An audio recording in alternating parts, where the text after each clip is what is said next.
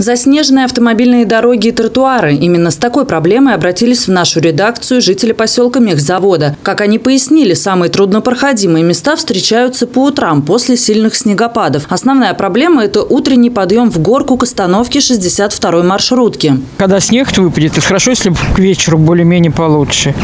А так-то вот подняться невозможно. В течение дня уже там разобьется, уже протопчут люди, и уже тогда полегче.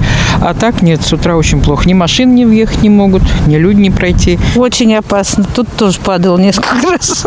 Машины обычно доезжают вот до круга, и все, разворачиваются и уезжают.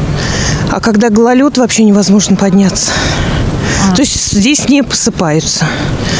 Ни здесь вот спуск, ни в, во дворах, нигде. Сейчас много жалоб от местных жителей поступило по поводу всей этой дороги, ведущей от остановки к местным домам и к школе номер 54. На ситуацию быстро отреагировали представители дирекции благоустройства города. По обращению жителей бригады рабочих зеленого хозяйства дирекции благоустройства была произведена расчистка тротуара и пешеходного перехода у школы номер 54 в поселке Мехзавода. Хочу отметить, что дирекция благоустройства оперативно реагирует на обращения жителей, поступающие в диспетчерскую и через социальные сети.